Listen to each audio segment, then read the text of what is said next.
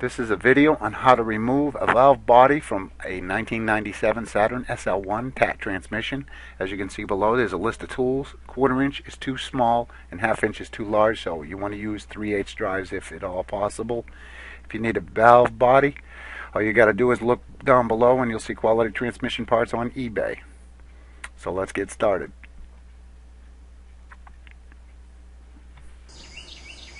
First step, you're going to have to remove the battery.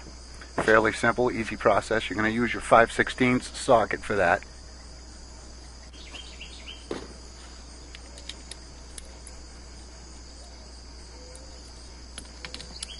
Be careful not to put the ratchet on tighten, like I just did. Works a lot better on loosen.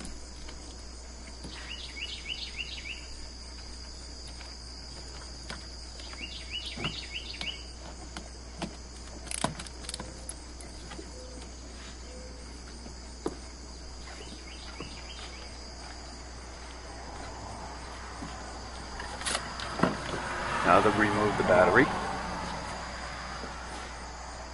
Place it somewhere where you won't trip over it like I normally do.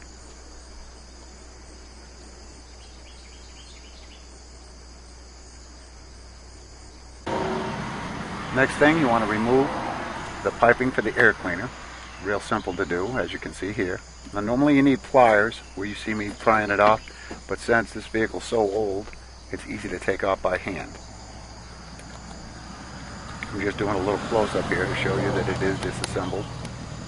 Now you want to remove the four clips holding the top of the air cleaner housing on. There's two in the back, two in the front.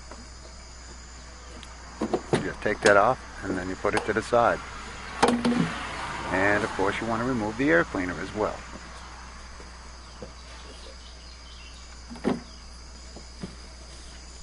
Now we have to work on removing the air cleaner housing, the lower part of it. These are the two bolts that hold it in.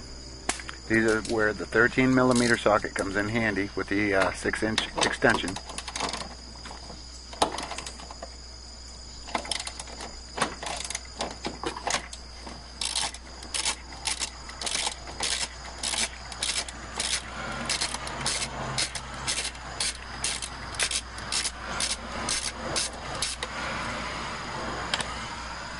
The other one's already loose. I don't know why, but it is. So you want to take them two bolts out. And preferably put them somewhere where they're not going to fall. Next you have the two bolts on the back of the lower air cleaner housing. Those are going to be your 10 millimeter socket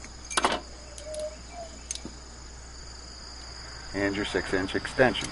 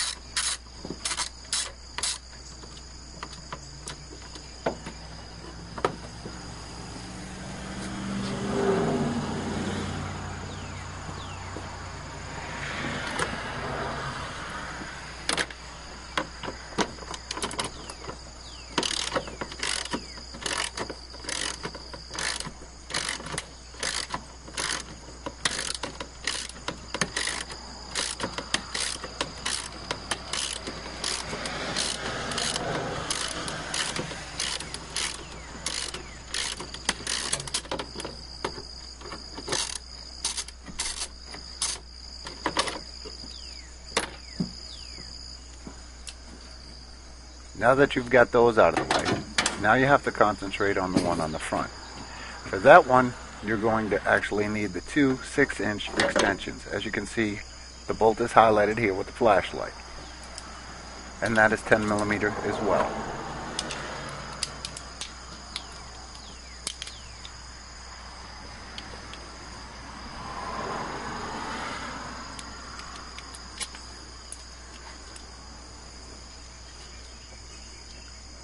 And again, I'm highlighting it so you can see it.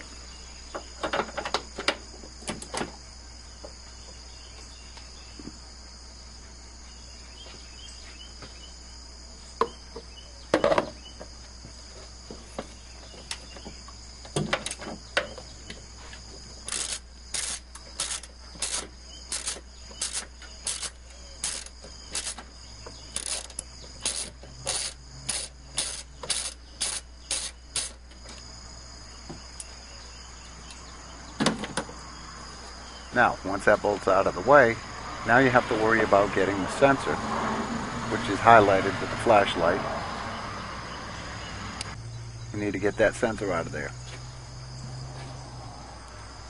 That one right there that's highlighted with the flashlight. To get that off, you have to just pinch it with two fingers and it pops off. Now what I'm going to do is I'm going to take this housing out and then I'll show you afterwards how it actually pops off so you can see how it actually works.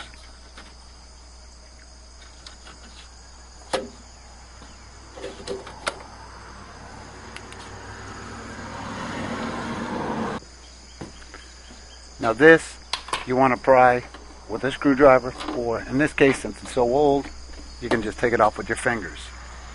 You want to slide it to the left of the car and up and out just like that. It's real simple.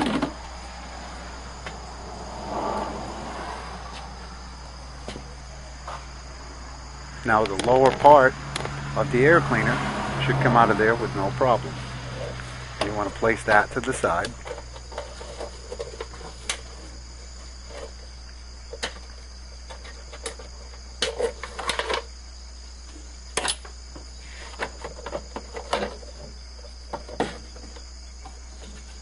Now I'm going to connect the connector so you see what I'm talking about.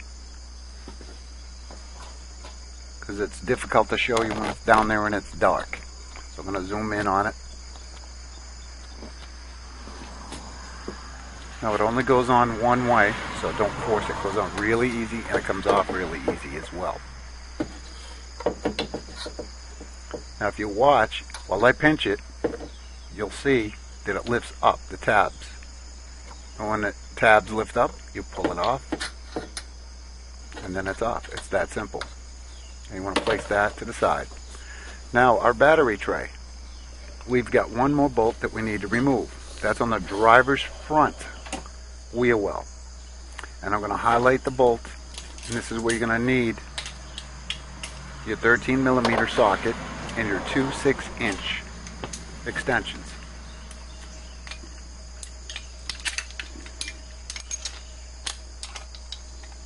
Again, this is in the wheel well in the front on the driver's side.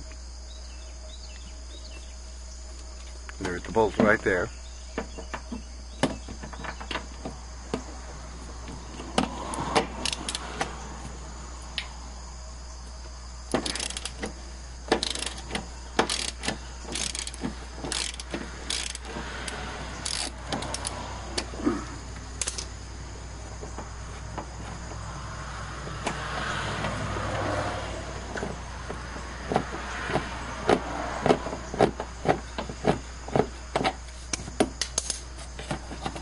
Long bolt, about three inches long, as you'll see when I pull it out.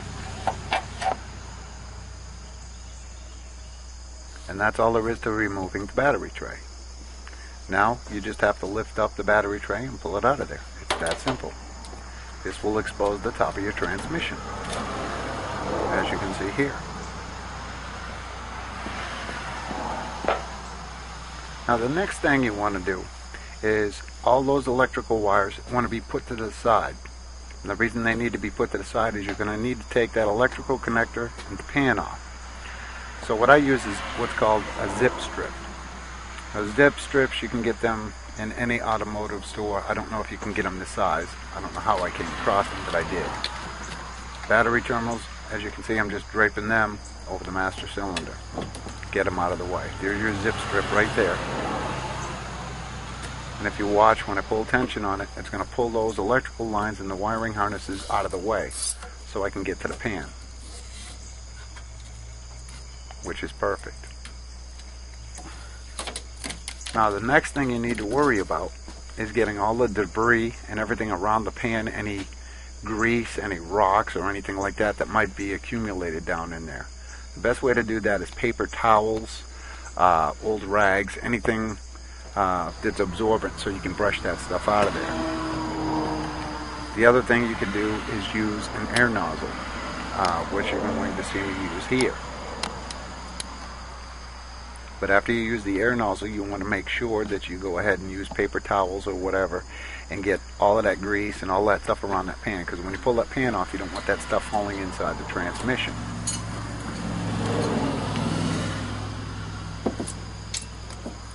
Simple air nozzle attached to an airline. Hopefully you get a can of compressed gas or an air compressor with an air nozzle so you're able to do this.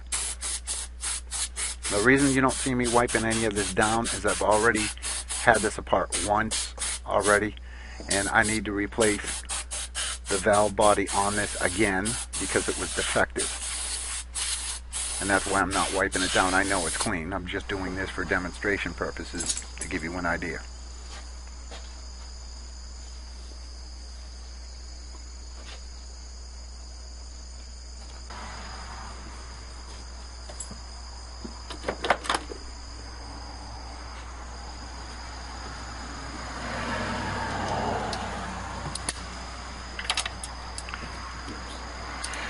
Now you're going to need your 13 millimeter socket again. Now this mounts from the body to the transmission. And all it is is like, uh, oh shoot, a shock absorber. It's a bushing basically is what it is. You're going to need to remove these two bolts. You see me removing one of them right here. Now be careful when you bang like I'm doing here uh, that you don't skin your knuckles or crush the pan or anything like that.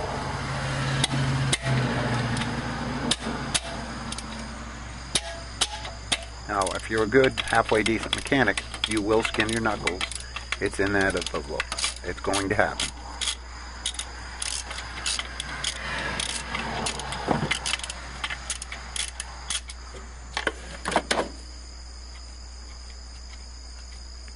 The reason why we need to take this out of here is if we don't, we can't slide the pan uh, or the valve body forward and up if we don't take this out of here. So it's basically it's in the way. It has to come out. We don't have a choice. It's only two bolts. They should come out rather easy.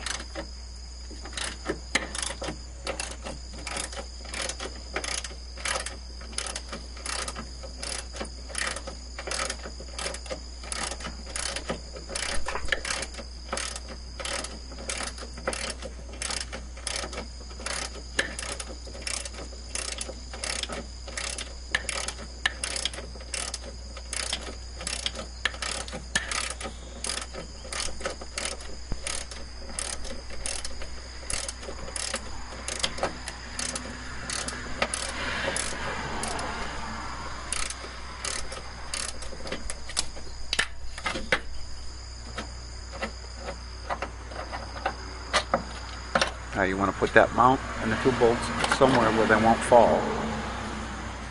And hopefully you won't hit them. And knock them back into the engine compartment, which I will do later as you will see.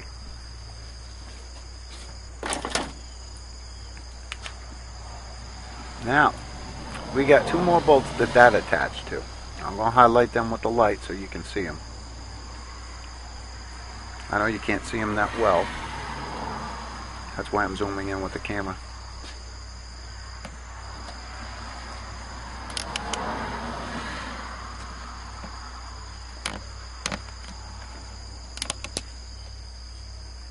There's your two bolts right there. Those are the ones that you need to be getting out of there. Because that's a bracket that holds that. And that's going to be in the way as well. That's also 13 millimeter. I'm highlighting them as you can see here.